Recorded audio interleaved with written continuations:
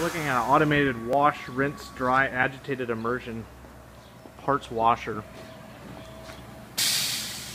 Automatic indexing of basket. Basket is approximately 20 by 20. Each platform is capable of holding 150 pounds of load.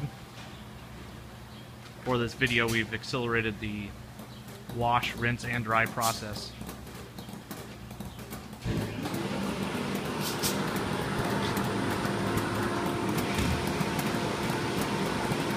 About a 20 second cycle set for right now, so once it's finished, which it is, you can see the turbulation in the tank that was going with the high flow pump to flush out part internals. The indexing roller conveyors allow for transport between stages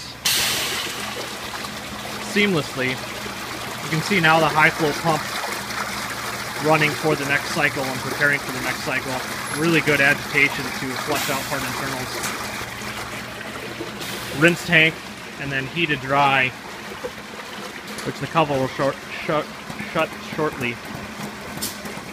Again, really short cycles for purposes of the video.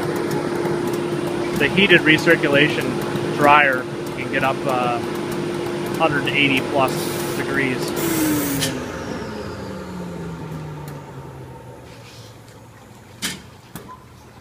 All the automation on the system is kept to relay and PLC logic for simplicity's sake and uh, allow for the system to be easily changed and down the road our control panel has digital temp controls on all three stages and digital timers that can be set without having to reprogram any ladder logic or PLC. So essentially the automation in the system is bolt on uh, without needing to modify the system significantly.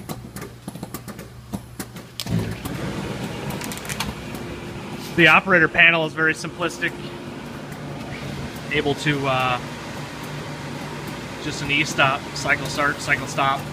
But overall the system is going to be in a waiting mode on its uh, prox sensors to index and cycle parts through.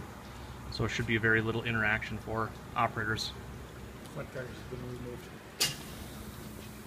That's the automated wash, rinse, dry, agitated immersion system. For demonstration purposes, we've removed the automation cover so you can see the automation. Again, the agitated immersion automated wash, rinse, dry.